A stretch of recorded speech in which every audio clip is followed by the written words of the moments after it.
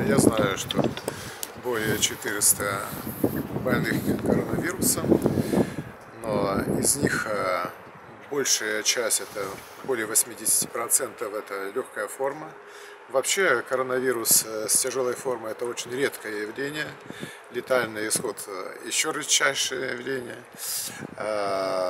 Но вот общество все дружно держит, как и подобает человечности, держит поддержку самоизоляции вот ради маленькой части. Причем вот такой изоляции по а, СПИДу, по другим заболеваниям заразным мы не видели в истории человечества. Ну, интересное явление, может быть это гуманизированное такое состояние. Но с другой стороны, вот я знаю, что перед депутатами в Москве патриарх выступая, патриарх Кирилл выступая, он сказал, что вот электронный лагерь это все-таки предвестник Антихриста. То есть это выражение патриарха нашего, он настораживает нас, конечно. У нас обращение было патриарха, мы его свято соблюдаем, это домашний режим. Что касается церкви, как и всякая организация, стратегически важная, мы считаем, как верующие, что церковь это стратегически важная инстанция, которая должна служить. Э, там э, сказано даже у нашего санэпидемолога нашей республики и других, там, скажем, краев областей, э, кроме священнослужителей и клириков церковных, вот в нашей епархии меньше всех на Пасху, на Пасху придет и также меньше всех пришло на вербное воскресенье людей, чем с другими областями. Соблюдаются все нормы, и одевание масок, и э, расстояние полтора метра. Но а, мы Э, приглашаем волонтеров, приглашаем э, помощникам в э, социальном служении, выдаем им документ соответствующий, то есть вот стратегически важное меньшинство, оно должно находиться, и оно находится в храме, даже их не хватает. Я думаю, что на Пасху еще меньше у нас будет людей, чем на Вербное, и на Вербное, воспользовавшись, кто-то приходил, мы познакомились, и эти люди тоже нашими волонтерами стали, это необходимо необходимо. Вот только в Стефановском соборе 70 человек работников, включая хор, а это все-таки и артисты Осекыя, других известных наших э, культурных заведений. Они тоже получают пропуска, так что это не совсем такое, что один священник, вот он там молится в церкви. А между тем, это общество людей, они смелые, они находятся тоже в группе риска, как и те, которые по возрасту, например, я тоже вот уже 60 лет практически к этой а, области отношусь, но вера помогает мобилизировать все внутренние силы. Вера помогает выработать э, иммунитет э, безопасности. И поэтому вот эти верующие люди, которые необходимы в храме, они являются теми, кто даже если переживет э, инфекцию эту, да, вот, я не верю, что они попадут в вот тот маленький процент э, тяжелой формы, да, тяжелой, которые умирают. Действительно, были такие в истории у нас в церкви моменты, когда некоторые даже святые заражались, умерли, но это единицы из единиц. А что касается коронавируса, а, я советуюсь с врачами, знаю точные э, сведения, что сильный духом человек, пережив э, коронавирус, он может потом быть донором своей крови, которая первейшим лекарством будет являться для других людей. То есть уже антитела э, противокоронавирусные, они будут служить Э, в изобретении нового лекарства, как сражаться. Так что это хорошая инстанция, церковь, наоборот, в лице своих, так сказать, новобранцев, э, работников, волонтеров, она и является борцом против коронавируса. Пасха будет, соответственно, мерам безопасности. Это соберутся, когда люди, на, конечно же, священники, клирики наши, то даже волонтерам не всем разрешат выйти э, из храмов. Э, в данном моменте у нас не юг, где люди становятся по безопасности вне храма. У нас будут стоять э, в храме, соответственно, с расстоянию данному Минздравом. И священники сами сделают крестный ход э, вокруг храма и зайдут, то есть, чтобы не было вот этой э, толкушки в проходах, в дверях церковных. Так что, конечно же, рекомендоваться будут всем масочки и э, все прочие безопасные моменты, когда протираться иконочки будут постоянно. Ну, крест мы э, не даем, только тому, тому, кто уж сильно будет просить.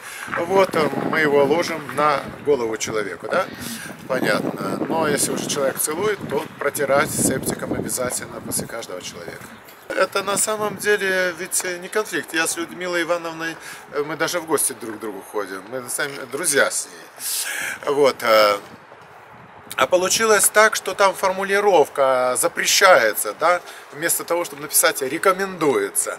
Вот, э, вот эта фраза вызвала недоумение, а вот сам документ, он даже положителен, в том смысле, что оговаривается, что разрешается, значит, э, кроме священнослужителей и клириков, да, то есть хоть в одном документе мы фигурируем, а не так, что приходит э, там э, руководитель какой-то местной власти в сельской, да, и говорит, покажите, батюшка, документ, что вы вообще имеете право служить. Ну вот этот документ с другой стороны, он говорит о том, что мы хоть как-то фигурируем в разрешительном смысле. Тут в этом документе есть и разрешающий момент, не только запрещающий. Вы знаете, спокойно воспринимают. Они же у нас по домам.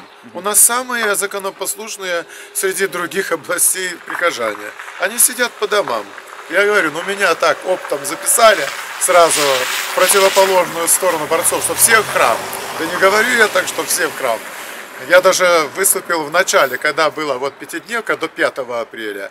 Да, я говорил вслед за патриархом, что все, значит, дома сидеть. Потом я вижу, что ну совсем уже никто нету, у нас волонтеров э, нету, значит, э, соцработников нету, помощников. А у нас ведь есть еще сестры милосердия, им с ними тоже надо проходить курс обучения, да. Но я объявил, что кто сильный духом, в храм, наоборот, да, пришли, познакомились с ними, вписали дали проходные, все, теперь находимся на этом этапе, когда у нас достойное по санэпиднадзору меньшинство есть. Слава Богу. Знаете, я предложил людям, что это антиконституционно. Если это так, действительно, суд разберется. И если будут такие заявления, то пожалуйста, но их нету. Их же ведь пока нету. Сейчас у вас э, хорошие отношения хорошие отношения и с властью, и с работниками. Единственное, что церковь всегда выступала ходатайцей, всегда молитвенницей и ходатайцей перед властью за узников, тех же, знаете, в царское время. И здесь тоже. Мы вот все-таки ходатайствуем по милосердию, церковному милосердию. Но вот человек с тяжелой формой коронавируса, к нему ведь не пускают родственников. А родственник может быть тот, который, даже если заразится, он не имеет права, что ли, на риск, а вдруг он э, вот входит в те 90%, что вообще, перенося эту болезнь, не замечает, что это болезнь, да? И он не попрощается с родной матерью. Мать, например, не попрощается с родным сыном. А ведь вот умирая от коронавируса, люди умирают в полном сознании. И вот здесь вот отсутствие вот этой человечности. Вот в этом плане надо бы, конечно, поработать. Также, когда все-таки э, пневмония, легочное заболевание, сопровождение коронавируса, да, и нельзя человеку подышать свободно, свободным воздухом чистым. Но сделайте дистанцию через 5 метров. Разрешите прогулку все-таки по улице, по, по парку с громкоговорителем. Не нарушайте там правила безопасности и так далее. Мне вот это непонятно. Сколько можно проветривать помещение узкое, да, где там масса людей, родственников находится, проживание, маленькой квартиры. То же самое, плохая вентиляция в девятиэтажках, да, встреча в подъезде, потому что все покурить выходят и так далее. Тут масса вопросов возникает. Я думаю, что это вопросы справедливые и разумно можем мы совместно обществом решить. И церковь здесь всегда только за милосердие, только в помощи, во благо человеку. И не разносится она никакого вируса. Я говорю, наоборот, в нас, в нас, как я уже сказал, вырабатывается иммунитет защиты против этого коронавируса, и мы готовы будем делиться своей кровью.